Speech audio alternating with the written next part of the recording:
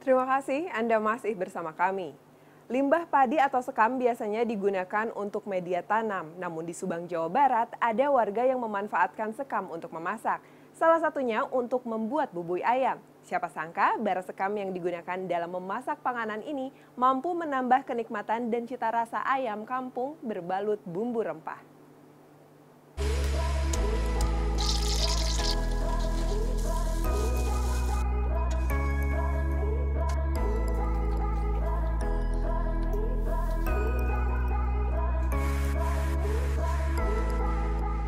Makanan tradisional bukan hanya soal rasa.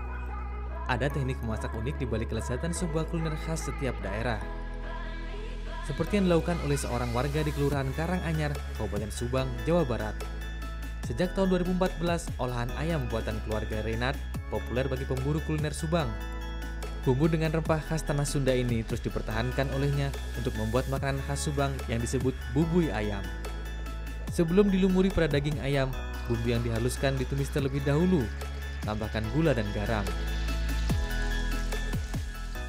Bumbu itu sebenarnya istilah Sunda, jadi semacam dipendam ke dalam bara. Biasanya kan kalau di Sunda tuh di bumbu itu bekas tungku perapian, ada ada yang namanya lebu.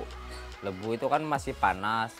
Kalau yang di kampung-kampung tuh masukin singkong, ubi, itu namanya tuh dibubui makanya namanya dibubui aja gitu ya bubui ayam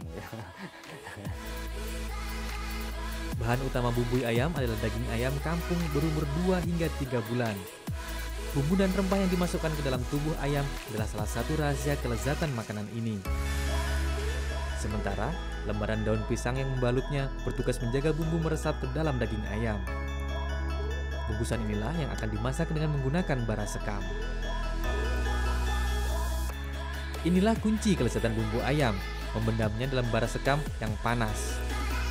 Proses memasak bubui ayam dengan bara sekam memerlukan waktu sedikitnya 6 jam. Waktu yang cukup lama untuk menghasilkan sebuah cita rasa yang khas.